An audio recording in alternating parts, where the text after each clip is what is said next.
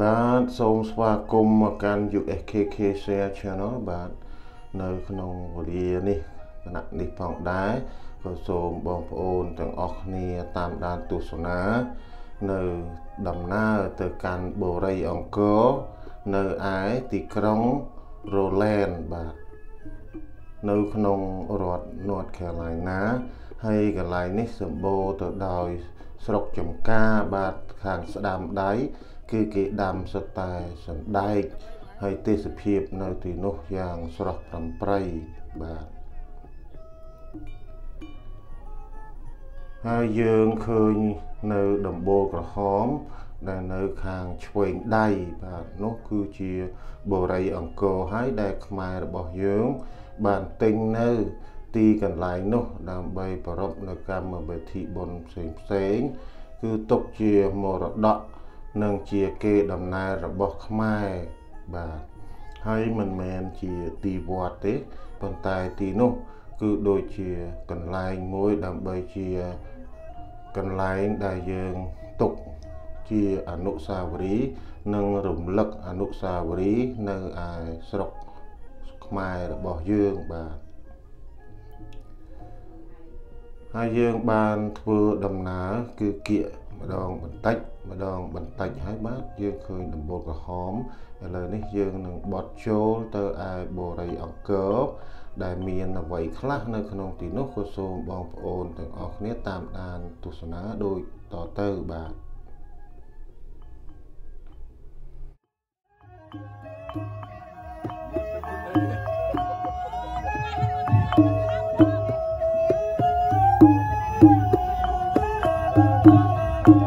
ឡូឡូ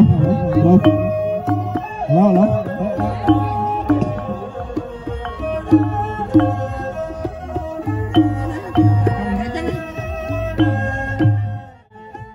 យើងបានចូលមកដល់បរិវេណនៃបូរីអង្គរហើយហើយនៅបរិយអង្គរនេះបានធ្វើស្ទូបមួយ ដើម្បីទុកជាអនុស្សាវរីយ៍អំពីវរៈបរោះដែលនៅឯខ្មែរកម្ពុជាក្រោមបាទ ហើយយើងសម្លឹងមើលនៅបរិវេណនៃទីកន្លែងនេះគឺថាមានកន្លែងធំទូលាយល្អព្រមទាំងជុំវិញនោះប្រកបទៅដោយព្រៃឈើហើយនឹងវាលដ៏ធំល្វឹងល្វើយដែលមានខ្នល់កាត់ទៅតឹងមើលទៅត្រង់ព្រិញតែម្ដងបាទហើយអមទៅដោយមេឃពណ៌ខៀវខ្ចីនិងពពកពណ៌សឆ្លុះដណ្ដប់ទៅដោយស្មៅពណ៌បៃតង ព្រមទាំងមានចំការសណ្ដែកដែលមានពណ៌បៃតងទៀតហើយធ្វើឲ្យទស្សនីយភាពនិងការធ្វើដំណើរទៅទីនោះ មានការផ្លាស់ប្ដូរនៅអារម្មណ៍ដែលយើងធ្លាប់មានមកនៅឯទីក្រុង ធ្វើឲ្យមានអារម្មណ៍ស្រស់ស្រាយនិងប្លែកជាងដែលយើងរស់នៅឯទីក្រុងបាទ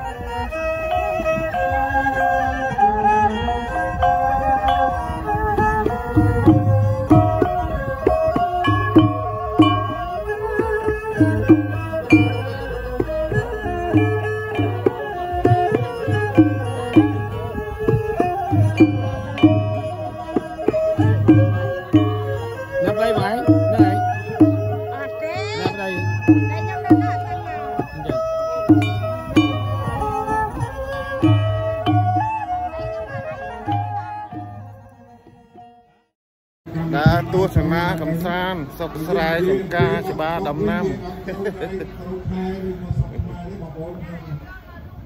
នេះគឺទស្សនីយភាពស្រុកស្រែចឹងក៏បងប្អូនទាំងអស់គ្នាដើរទស្សនាកំសាន្តជាមួយនឹងខ្ញុំ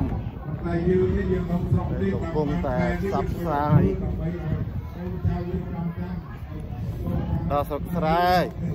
ថាពូតាក់ថតឲ្យពូតកែថតឲ្យថតខ្លួនឯងឲ្យចាញ់តែបពូ វុទ្ធថតឲ្យថតខ្លួនឯងដល់ស្រុកស្រែស្រុកស្រែស្រុកម៉ែស្រុកឪហ្នឹងហើយស្វាគមន៍មកកាន់ USKK Share Channel ឥឡូវយើងមកដល់អឺបូរីអង្គរគឺនៅឯទីក្រុងនៅឯភូមិ Roland នៅក្នុងភ្នត់ Carolina ហើយបងប្អូនទាំងអស់គ្នាក៏ដឹងហើយថាអឺនៅបូរីអង្គរនេះគឺអ្នក ណាក៏ភាគច្រើនក៏ស្គាល់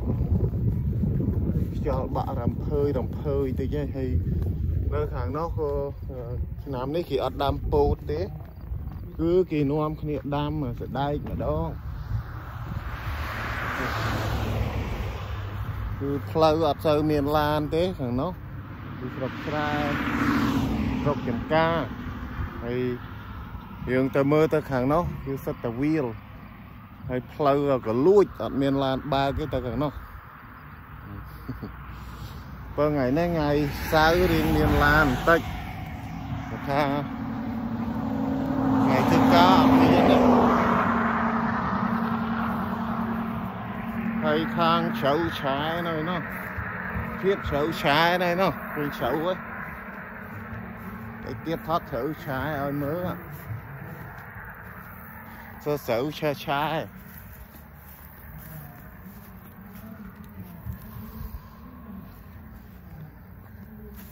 អូអានេះមិនជ្រៅទេណាអានេះនេះអឺនេះស្លឹកស្លឹកគ្រៃមានជ្រៅឯណាតែស្លឹកគ្រៃអត់មា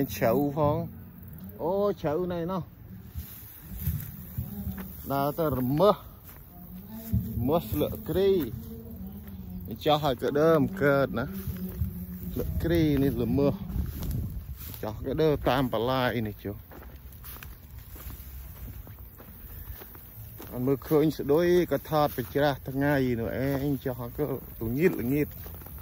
បានច្បាស់អុយចាំទៅចេះទៅមើលទៅនេះដើមទៅលើបយ៉ាដើមទៅលើបតែធ្លាប់ញ៉ាំដែរអុយ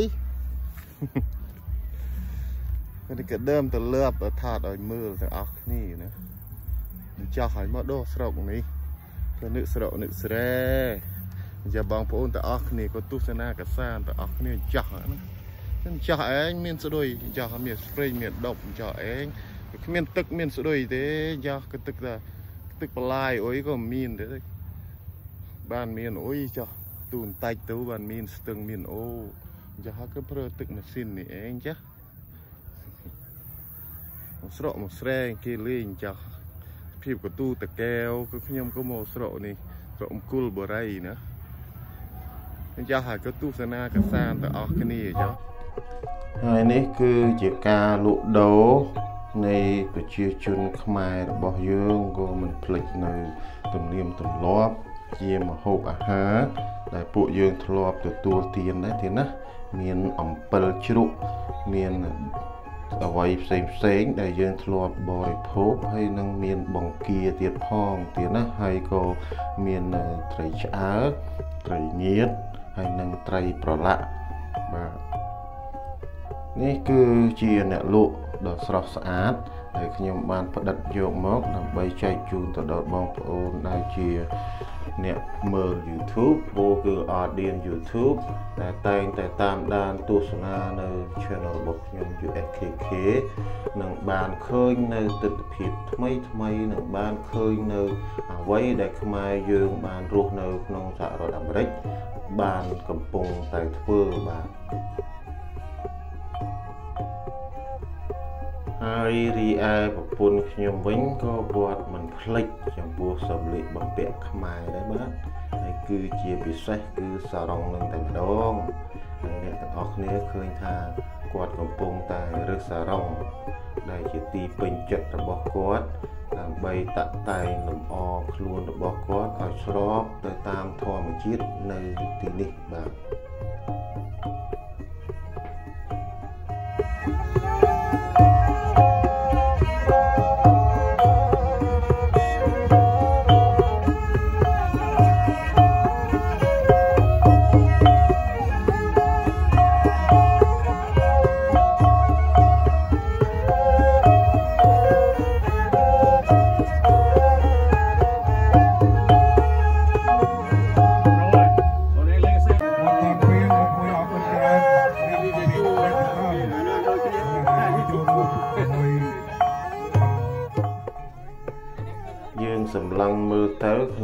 ខ្សែវីដេអូទស្សនីយភាពនេះដែលកំពុងតែបញ្ចាំងនៅលើកញ្ចក់ទូរទស្សន៍ក្តីនៅលើទូរស័ព្ទដៃក្តីគឺឃើញតែមនុស្ស3នាក់ទេ គឺថែមម្នាក់ទៀតគឺខាងមុខនេះគឺជាម្ដាយក្មេករបស់ខ្ញុំរីឯអ្នកដែលនៅអង្អែលនៅសម្លៀកបំពាក់នោះគឺជាប្រពន្ធសម្លាញ់របស់ខ្ញុំគាត់នៅតែអង្អែលនៅសម្លៀកបំពាក់ទាំងអស់នោះ តែមើលទៅមានពណ៌ស្រស់ស្អាតហើយក៏មិនទាន់បានចាក់ចេញដោយការអឡោះអាល័យនៅពណ៌ទាំងអស់នោះព្រមទាំងភាពស្រស់ស្អាតនៃសម្លៀកបំពាក់ទាំងអស់នោះបាទ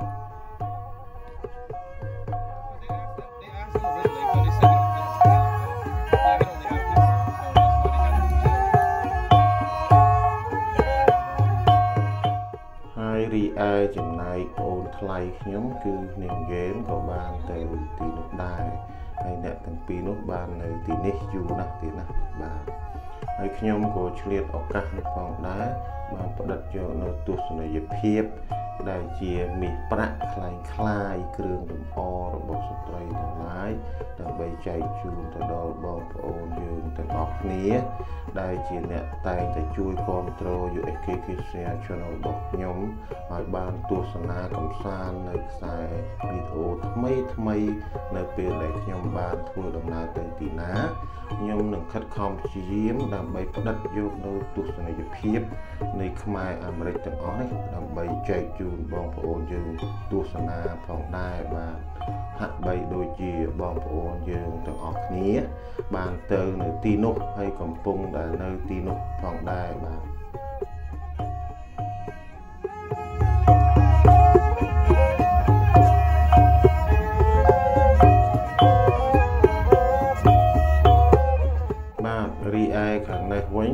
គឺជាខ្មែររបស់យើងដែលបានប្តីជាជនជាតិស្បែកខ្មៅបាទប៉ុន្តែជនជាតិស្បែកខ្មៅនេះគាត់ស្រឡាញ់ប្រពន្ធគាត់ណាស់ព្រមទាំងមានលក់នៅទឹកដូង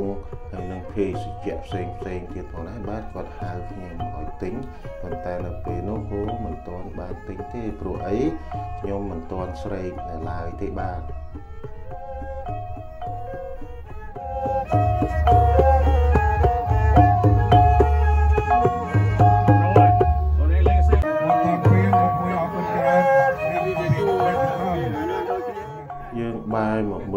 ស្សនីយភាពខាងនេះវិញឃើញការបោះតង់យ៉ាងហូរហែនៅលើទីធ្លាពណ៌ស្មៅខៀវខ្ចីដែលលាតសន្ធឹងទៅលើផែនដីហើយឃើញមានពណ៌ក្រហមពណ៌ខៀវពណ៌លឿងអីជាដើមព្រមទាំងឡានផកនៅទីនោះត្រៀបត្រាបាទ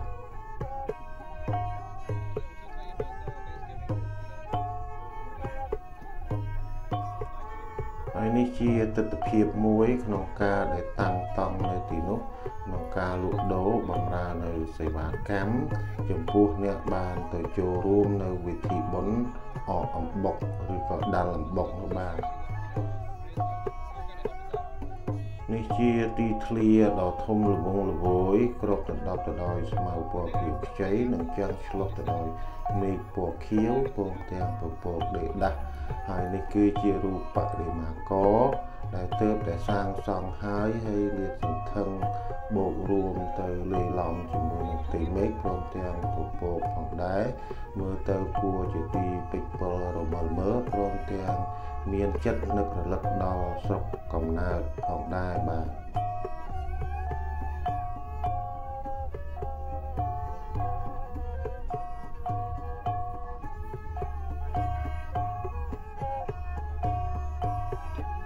ហើយក៏សូមបងប្អូនយើងទស្សនាកំសាន្តទាំងអស់គ្នាហើយនេះគឺជាស្ថូបមួយដែល បានសាងសង់ឡើងដើម្បីរំលឹកនៅអនុស្សាវរីយ៍នៃខ្មែរកម្ពុជាក្រមដែលជាវីរបុរសបាទហើយខ្ញុំព្យាយាមដើម្បីទៅទីនេះដើម្បីផ្ដិតយកនៅទស្សនីយភាពទាំងអស់នេះឲ្យកាន់តែចិត្តចែកជូនទៅដល់បងប្អូនដែលជាទស្សនិកជន បានទស្សនាឲ្យបានឃើញនៅសភាពនិងបដិមាករនៅទីនេះ នេះគឺជារូប ព្រះមហាសង្ឃរាជបាទជួនណាតបាទមើលទៅឃើញថារូបនេះសម្បត្តិនេះគឺមើលទៅដូចជាព្រះអង្គអញ្ចឹងបាទ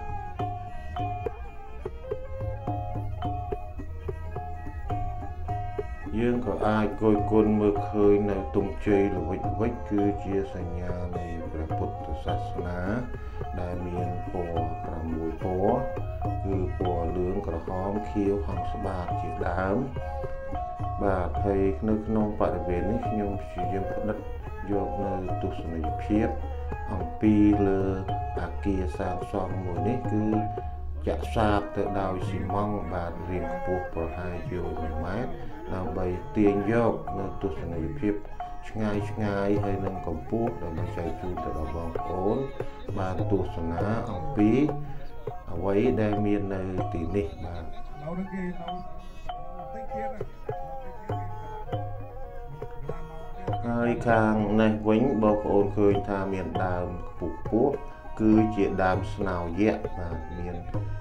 ឡើងកម្ពស់ខ្ពស់ខ្ពស់ប៉ុន្តែពុំមានផ្កានៅឡើយទេបាទ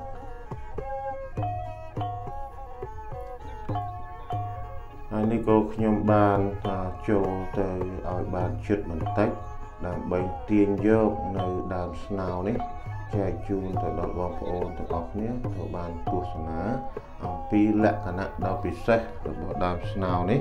គឺដើមស្នោនេះហាក់បីដូចជាមិនមាននៅស្រុកយើងទេ ដោយសារដើមស្នោនេះវាដុះនៅឯទីគោកបាទ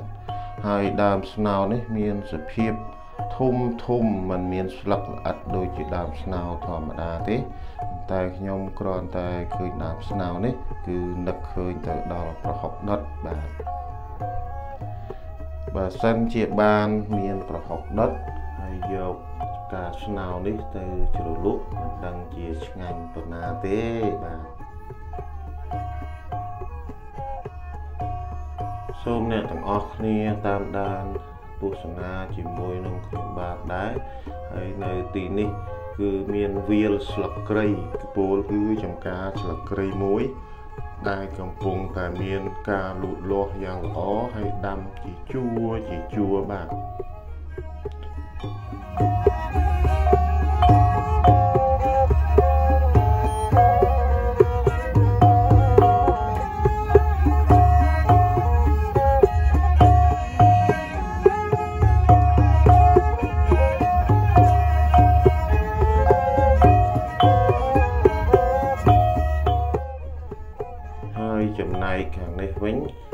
ជាចំការដំឡូងស្វា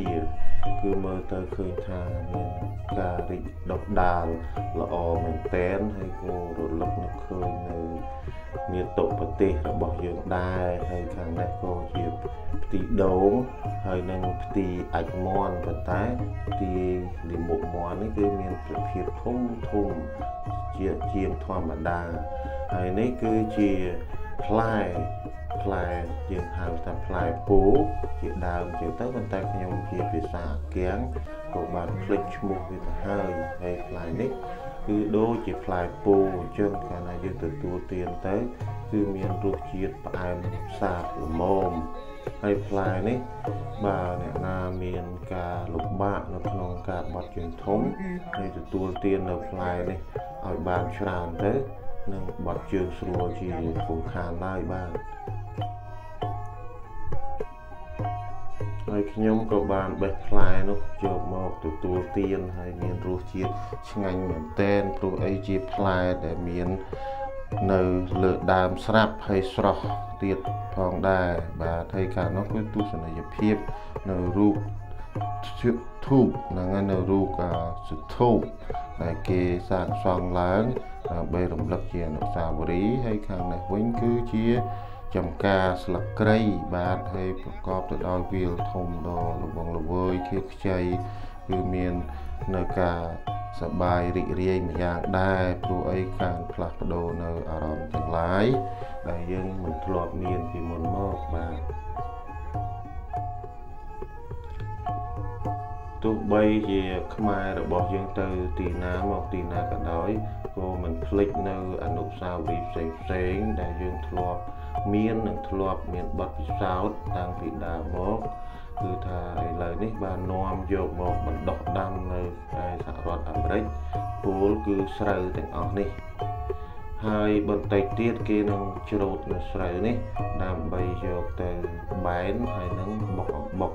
ព្រោះអីនេះគឺជាបុណ្យអកអំបុកឬក៏ជាបុណ្យបុកអំបុកបាទរៀងរាល់ឆ្នាំនៅក្នុងខែនេះ តែងតែប្រពនៅកម្មវិធីទាំងអស់នោះគឺប្រមាណប្រមូលនៅវប្បធម៌រយធម៌ខ្មែរដូចជាគ្រឿងដំកោតប្រគុំជាដើមដើម្បីរំលឹកនៅអនុស្សាវរីយ៍របស់ខ្មែរយើងបាទហើយបន្តិចទៀតបងប្អូននឹងឃើញនៅ អ្នកទាំងអស់គ្នានោះនឹងកោតនៅត្រហើយដំនៅស្គរបំពងសំឡេងមកហាក់បីដូចជានៅក្នុងប្រទេសកំណើតរបស់យើងអញ្ចឹងដែរបាទប៉ុន្តែបងប្អូនទាំងអស់គ្នាក៏សូមរងចាំទស្សនាគឺនៅខាងមុខនៃពេលវេលានេះឯងបាទហើយខាងនេះក៏ត្រឡប់មកមើលអ្នកលក់ដូរ របស់ផ្សេងផ្សេងហើយប្រពន្ធខ្ញុំនិងប្អូនថ្លៃខ្ញុំក៏នៅតែទីនេះដដែលដោយសារការលោសរងបាទជាសរងឃើញគាត់កំពុងតែលោតើគាត់ស្រឡាញ់ពណ៌មួយណាហើយនេះជាម្ដាយខ្ញុំកំពុងតែបង្គាប់ប្រពន្ធខ្ញុំឲ្យស្លៀកសរងនេះបាទ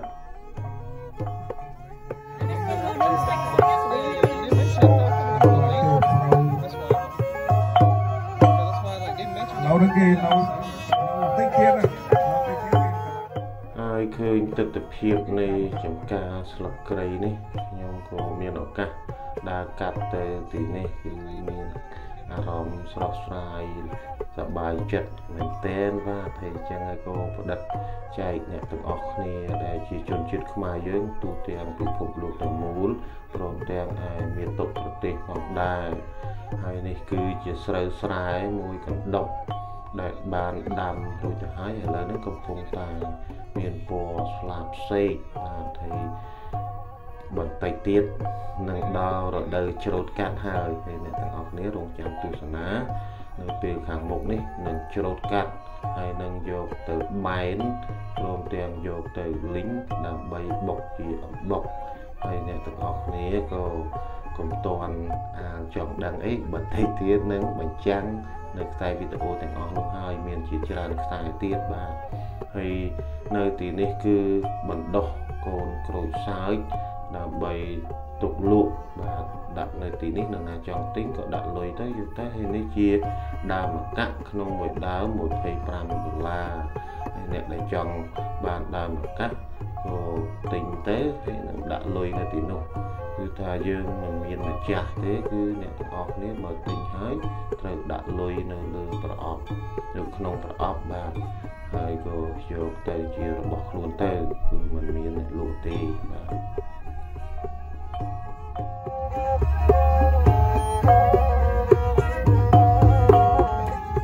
ចំណែកខាងនេះវិញគឺជាចកបានមាន ផនមួយហើយក៏បានយកចកនេះមកដាក់នៅទីនេះហើយនេះគឺជាខ្ទមអនុស្សាវរីយ៍ដែលយើងហៅថាខ្ទមមេត្តាបាទ ហើយនៅខាងស្ដាំដៃគឺជារោងមួយដែលទុកសម្រាប់ប្រពនៅកម្មវិធីផ្សេងផ្សេងព្រមទាំងមានការវាយដំប្រគំកោតច្រៀងរាំផងដែរបាទហើយនេះក៏អ្នកទាំងអស់នេះបានស្គាល់ហើយគឺជាត្រសក់ស្រូវហើយក៏បានប្រមូលភោគផលហើយនៅចុងខែ9នេះចំណែកត្រសក់ខ្ញុំក៏បានស្លាប់អស់ហើយបាទហើយនេះគឺជា រនោងហើយរនោងជ្រុងនិងរនោងប្រហើហើយអ្នកទាំងអស់នេះក៏បានធ្វើទស្សនភាពនៅទីនេះអ្នកកំពុងតែអង្គុយនៅទីនេះដើម្បី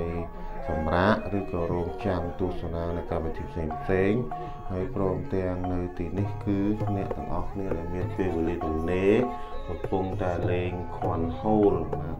ហើយអ្នកទាំងអស់នេះគឺនៅទីនេះជារៀងរហូតគឺបោះទៅបោះមកគឺมันអាចទៅទីណាទេបាទហើយខាងនេះគឺមកខាងនៃរោងដែលយើងបានបញ្ចាំងខាងក្រោយនោះហើយនេះគឺជាមកខាងនៅខាងឆ្វេងដៃបាទ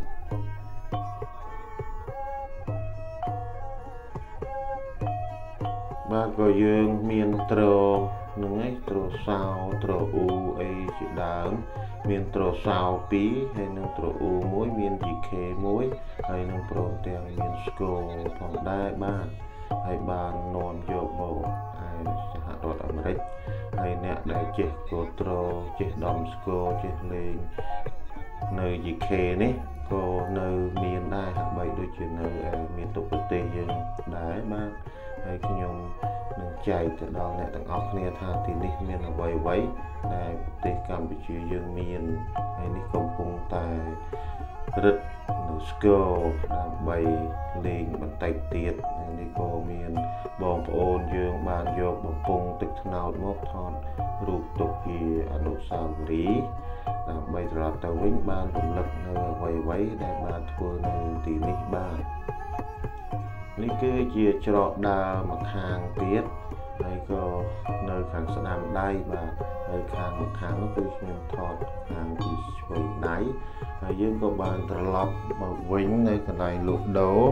ហើយនេះគឺជាបងសរ៉ាន់បានបែកគាត់យូរហើយក៏បានជួបគាត់នៅទីនេះក៏សំណេះសំណាលលេង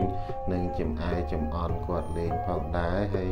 អ្នកលក់ក៏គាត់បានស្គាល់ខ្ញុំដែរព្រោះអីខ្ញុំជាអ្នកសកម្មភាពខាង Facebook ច្រើនណាស់ដោយសារចឹងទៅពួកគាត់ខ្ញុំទៅទីណាមកទីណាក្ដីគឺគាត់ស្គាល់ខ្ញុំច្បាស់តែម្ដងប៉ុន្តែខ្ញុំបាទក៏អត់បានស្គាល់គាត់ទេ ព្រោះអីដោយសារខ្ញុំបាទជាតារា Facebook ហើយចំណែកពួកគាត់គាត់អ្នកមើលគឺខ្ញុំមិនសូវបានមើលឬមួយក៏ tag យ៉ាងណាទេគាត់ក៏ចំអន់ខ្ញុំលេងខ្ញុំក៏ចំអន់គាត់លេងដែរហើយគាត់សេថា hello ហើយគាត់ជាអ្នកលក់ទឹកកឡុកផងគាត់លក់អំពៅផងប៉ុន្តែខ្ញុំអត់ទាន់បានសាកទេដោយសារម្យ៉ាងទៀតគឺខ្លាចឈឺពោះ ក្រែងតែឈឺពោះទៅមានបញ្ហាអត់បានទៅដើម្បីថតឬអ្វីអ្វីនៅទីនេះដើម្បីចែកអ្នកទាំងអស់គ្នាបានទស្សនាបាទហើយនេះគឺជាទឹកក្រឡុករបស់គាត់ហើយហើយមានពណ៌ដូចជាការ៉េមកៃអញ្ចឹងហើយនេះជាប្រដាប់ទឹកក្រឡុកហើយបើយើងចង់ញ៉ាំយើងប្រាប់គាត់ទៅខ្ញុំក៏អត់បានសាកសួរគាត់ថាតើទឹកក្រឡុកមួយកែវតម្លៃប្រមាណដែរបាទ ហើយខាងនេះគឺក៏បានស្គាល់ពួកគាត់ដែរខ្ញុំក៏បានចំអែចំអន់គាត់លេងថាតើនំពុំនេះមកពុំម៉ានចុះបើសិនមាត្រាប្រមាណនេះគាត់ពិតយល់ខ្ញុំនិយាយថាមាត្រាប្រមាណទេគឺថាគាត់តែអត់យល់ទេហើយគាត់ក៏បានចេះនិយាយខ្មែរផងដែរបាទ ហើយខាងនេះគឺលក់នៅសាច់គ្រូគោក្រៀមហើយខ្ញុំក៏មិនបានសាកសួរថាតើសាច់គោក្រៀមនោះគោមិនដឹងជាតម្លៃប៉ុន្មានទេគឺខ្ញុំបាទអត់ដឹងទេបាទហើយគាត់មានជ្រក់ដូចជាជ្រក់សម្រាប់ថាអេរ៉ូអីជាដើមអេរ៉ូនេះគឺ2 1ដុល្លារគាត់បានបង្ហាញខ្ញុំហើយគាត់បានបង្ហាញខ្ញុំនៅទីនេះផងដែរថាព្រើមន់នេះ2ផ្លូវគឺ5ដុល្លារហើយគាត់បាន ប្រឡាក់និងគ្រឿងគ្រើនៃសាច់មាន់នេះជាសាច់មាន់មានដែលមានគ្រឿងពិសេសគឺឈ្ងុយឆ្ងាញ់ណាស់បាទគឺมันមានអ្នកណាដែលចេះធ្វើ recipe ដោយគាត់ទេហើយគាត់ក៏បានឲ្យខ្ញុំបញ្ចាំងជ្រក់របស់គាត់ផងដែរប៉ុន្តែដោយសារខ្ញុំអត់ទាន់ឃ្លានខ្ញុំក៏អត់ទាន់បានទិញទេណាឃ្លានត្រូវទិញឥឡូវនេះឯងហើយនេះគឺហឿនគេជិះកង់ជាអនុស្សាវរីយ៍សុកស្រែបាទ ហើយយើងក៏ឃើញតង់ទៀបទៀបឬក៏តង់ខ្ពស់ខ្ពស់គឺលាតសន្ធឹងទៅលើផ្ទៃដីហើយមានខ្មែរយើងច្រើនណាស់ដែលយកតង់ទៅដើម្បី បោះនៅទីនោះហើយនឹងសម្រាប់នៅទីនោះប៉ុន្តែដោយសារខ្ញុំមិនមានអារម្មណ៍ថានៅទីនោះទេបាទហើយខ្ញុំក៏ជួលអូតែលនៅពេលដែលយើងចប់នៅកម្មវិធីនេះហើយយើងនឹងត្រឡប់មកដើម្បីសម្រាប់អូតែលងូតទឹកងូតអីជាដើមអញ្ចឹងទៅហើយនឹងត្រឡប់ទៅវិញដើម្បីចូលរួមនៅកម្មវិធីនៅក្នុង ពេលល្ងាចនេះបាទហើយអ្នកទាំងអស់គ្នាក៏រងចាំទស្សនាបន្តទៅទៀតនៅកម្មវិធីនៅពេលល្ងាចនេះផងដែរហើយយើងឃើញថាមានតង់ត្រៀបត្រាព្រមទាំងឡាន camping ផងដែរនៅទីនេះហើយនេះគឺជាប្រពន្ធបុណ្ណាដែលមានឡាន camping យ៉ាងថ្មីស្រឡាងអ្នកទាំងអស់នេះក៏សូមចូលរួមទៅទស្សនានៅឯខាងក្នុងជាមួយនឹងខ្ញុំបាទ អរគុណអរគុណច្រើនបាទនេះគឺនៅខាងក្នុងហើយមានបន្ទប់ទឹកព្រមទាំងមានជាក្រានបាយហើយនឹងខាងស្ដាំដៃគឺកន្លែងគេងហើយបណ្ណាតហើយពុកបណ្ណាតគឺជាអ្នកភូមិផងរបងជាមួយទេបាទគឺរស់នៅជាមួយគ្នាភូមិជាមួយគ្នាហើយប្រពន្ធបណ្ណាតក៏បាន ដាក់ចង្ក្រានបញ្ឆេះដើម្បីជៀនជែកជៀននៅទីនេះឲ្យជែកជៀននៅពេលដែលគាត់ជៀនហើយនរណាក៏អាចញ៉ាំបានដែរបាទហើយខ្ញុំក៏ឆ្លៀតឱកាសនេះដើម្បីទៅមកខាងទៀតដឹងផ្ដិតយកនៅទស្សនីយភាពផ្សេងផ្សេងដែលខ្មែរយើងនៅទីនោះហើយបងប្អូនទាំងអស់គ្នានៅទីនេះគឺកំពុងតែច្រៀងនៅ karaoke ហើយមានអាគាំងម្នាក់ផងដែរអ្នកទាំងអស់នេះឃើញថាធុងខ្មៅនេះបាទជាធុង karaoke ហើយយើងមិនដែលឃើញពីមុនមកទេហើយអ្នកទាំងអស់នេះក៏ទស្សនាគឺធុងនេះមិនមែនជាធុងបារីទេទៀតណាគឺធុង karaoke ហើយធុងនេះគឺមានថាមពលខ្លាំងលើទៅថាដូចជាធុងបាសធំធំហើយយើងថាធុងបាសអាហ្នឹងវាជាធុងបាសវាហើយហើយអ្នកទាំងអស់នេះឃើញគាត់កំពុងតែកាន់មីក្រូហ្វូនគឺគាត់កំពុងតែច្រៀងសប្បាយរីករាយនៅ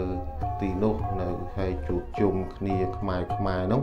ក៏បានមានម្ហូបអាហារហើយនឹងគ្រឿងផឹកគ្រឿងបរិភោគអីជាដើមមិនខ្វះខាតទេបាទហើយយើងមើលទៅនេះដូចជាដើមថ្នោតមកតាមពិតទៅវាជាដើមផាញទេបាទហើយខ្ពស់ខ្ពស់ស្រឡូនស្រឡូន ទៅមុខហើយនៅទីនេះក៏មានឡានយ៉ាងច្រើនផកកកកហើយក៏បោះតង់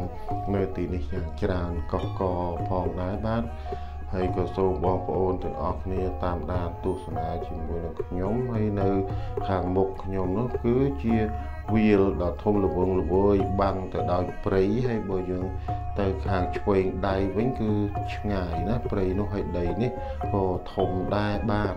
ហើយមាននៅត្រាក់ទ័រដើម្បីទុកឈូសឆាយមិនបាច់ជួលគេទេហើយទីនោះគឺមាននៅត្រាក់ទ័រនិងមានត្រាក់ទ័រសម្រាប់ភ្ជួរសម្រាប់រាស់សម្រាប់ជីកនិងមាននៅអ្វីៗគ្រប់បែបយ៉ាងទាំងអស់ចំពោះនៅកន្លែងនៅបូរីអង្គរ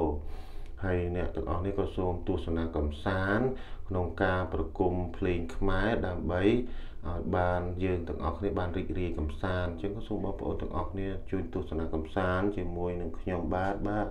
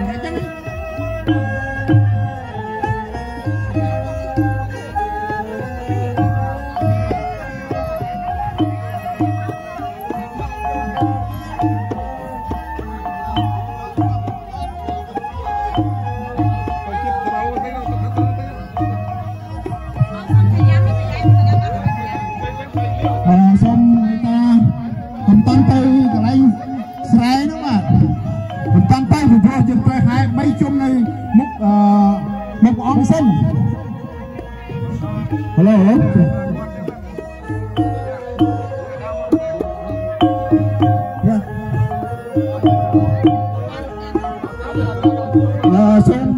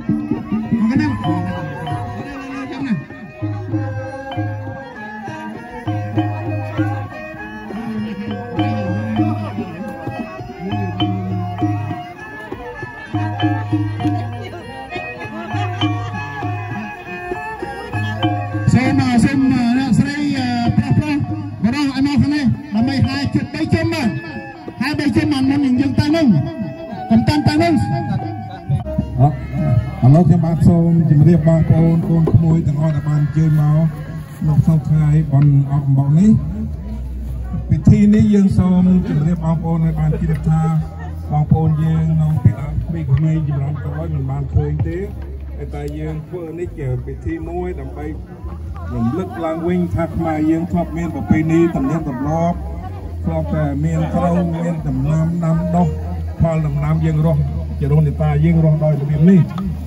ហើយបននេះខ្ញុំសូមជម្រាបថាមកទឹកបនអកអំបុកនោះអត់មានទេឡត់អត់មានលក់អស់ខាងនេះលក់ដល់ដោយសារអ្វីដោយសារមូលហេតុដែលអ្វីដែលយើងកំពុងខាននេះពីព្រោះយើងនៅតំបន់យើងនៅប្រទេសមួយដែលថ្មីហើយទឹកដីមួយដែលអំណោយផលឲ្យបានខែនេះមិនអាចធ្វើដល់ខែវិច្ឆិកាខែនវម្ በር នោះបានទេថ្ងៃអកអំបុកនោះត្រូវថ្ងៃទី15 5កើតខែករុប1 ដើម្បីឲ្យកូនចៅបងប្អូនយើង បានឃើញថាខ្មែរយើងរស់ដោយសាររបៀបនេះហើយទី1យើងអរគុណដល់ទឹកដល់ដីដល់ខ្យល់ដល់ភ្លើងជារុនយតាយើងពេលថាថាពេលដែលធ្វើស្រែចម្ការហើយគេធ្វើចូលស្រូវពេលឡើងលៀនគេធ្វើបន់សែនឡើងលៀនដូច្នេះហើយយើងមិនបានសែនឡើងលៀនទេបើយើងធ្វើពិធីនេះដើម្បីឲ្យកូនចៅខ្មែរយើង បានឃើញថា ខ្មែរយើងនៅនៅកន្លែងណា បានដាំស្រូវជានិមិត្តរូបមួយប៉ុន្តែយើងសង្ឃឹមថាឆ្នាំក្រោយក្រោយប្រហែលជាយើងធ្វើបានច្រើនជាងនេះទៀតហើយឆ្នាំក្រោយក៏បងប្អូនយើងសូមអញ្ជើញឲ្យបានមកជុំគ្នាព្រោះឆ្នាំនេះស្រូវនេះស្រូវល្អណាស់យើងអាចដានបកបានតន់ពេលវេលាខ្ញុំសង្ឃឹមថាមិនមិនដល់ពេលនេះតែយើងមិនបានដានបកទេប៉ុន្តែដំណើរផលឲ្យបានយើងដានបក ដូច្នេះហើយមុនយើងនេះខ្ញុំសូមអរគុណដល់ក្មួយៗទាំងអស់ដែលមកនេះសប្បាយរីករាយទាំងអស់គ្នាឃើញថាច្រើនណាស់ឆ្នាំនេះច្រើនមែនទែនគួរឲ្យជាមោទនភាពមួយ ដើម្បីគ្រប់គ្រងនៅសហគមន៍រេងគោឲ្យដំណើរការទៅមុខទៀតទៅអនាគតបុរីអង្គររីកចម្រើនដោយសារពួកយើងទាំងអស់គ្នាសូមអរគុណសូមអរគុណអរចាប់ផ្ដើមយកមកចាប់ផ្ដើមលេងភ្លេងចាប់ផ្ដើមជ្រូតស្រូវ បាទនាងជ្រូតស្រូវសូមបាត់នាងជ្រូតស្រូវនេះដូចជាបត់យើងអឺនាងនាងបុកស្រូវយើងអត់ដូចគ្នាណាមកធ្វើរនេះជ្រូតដល់លំវាឲ្យវាត្រជាក់ណាជ្រូតបានច្រើនត្រូវតែយកទៅបែនដើម្បីបានបុកណាជ្រោតបានច្រើនហត់ច្រើន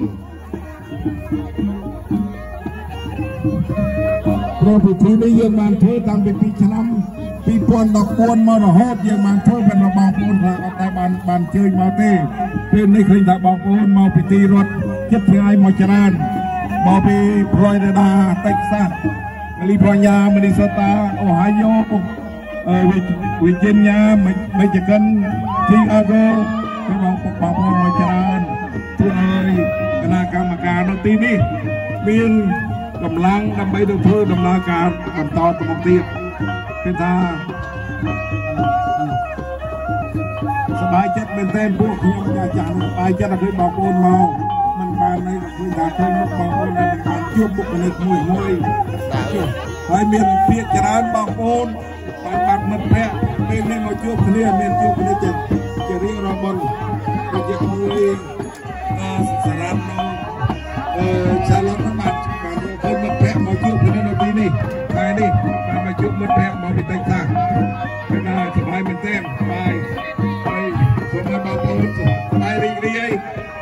រៀននេះយើងកំសាន្តសប្បាយរីករាយជាមួយគ្នាអឺឥឡូវនេះបងសូមអរគុណ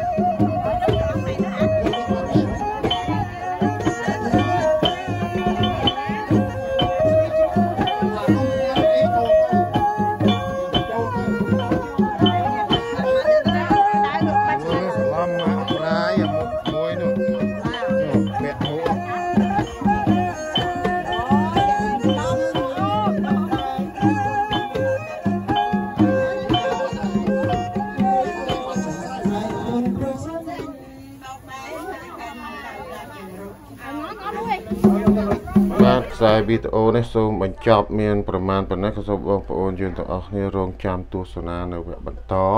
ហើយមុននឹងខ្ញុំបាទ Michael Mock មកសំអល់ដែលរស់នៅក្នុងសហរដ្ឋអាមេរិកទីក្រុង Charlotte រដ្ឋ North Carolina មុននឹងជម្រាបលាក៏សូមបងប្អូនទាំងអស់គ្នា ជួយ Subscribe ម្នាក់មួយហើយកុំភ្លេចចុចសញ្ញាកណ្ដឹងផងដើម្បីទទួលបាននូវខ្សែវីដេអូថ្មីថ្មីដែលខ្ញុំអាប់ឡូតចូលទៅក្នុង YouTube Channel របស់ខ្ញុំបាទអញ្ចឹងខ្ញុំបាទក៏សូមជម្រាបលា សូមទស្សនានៅវគ្គបន្តបាទ